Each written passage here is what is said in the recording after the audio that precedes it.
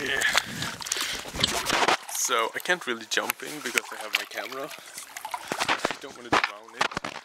Probably am going to, but it's really cool.